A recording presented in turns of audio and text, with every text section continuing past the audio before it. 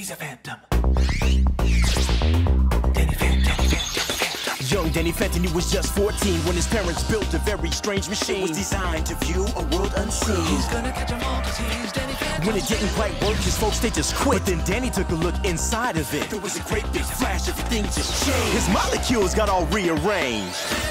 When he first woke up, he realized he had snow white hair and glowing green eyes. He could walk through walls, disappear, and fly. He was much more unique than the other guy, and it was then that he knew what he had to do. He had to stop all the ghosts that were coming through. He's here to fight for me and you.